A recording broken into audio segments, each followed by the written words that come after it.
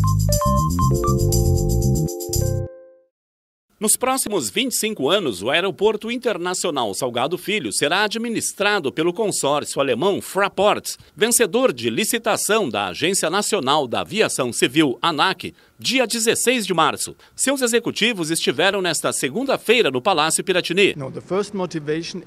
A primeira motivação, conforme o vice-presidente sênior Christoph Nank, é que a Fraport acredita no desenvolvimento do aeroporto, que tem grande e futuro potencial de crescimento por estar localizado estrategicamente no Mercosul. A ampliação da pista, disse, faz parte da concessão. O governador José Ivo Sartori e Christoph Nank apresentaram as suas equipes. Sartori colocou o governo do estado à disposição do consórcio em sua meta de investir ampliar e desenvolver o Salgado Filho. Um grupo de trabalho será constituído entre o governo e a Fraport. Tem todo, tem todo um período ainda de fase de assinatura a partir dessa sua implantação.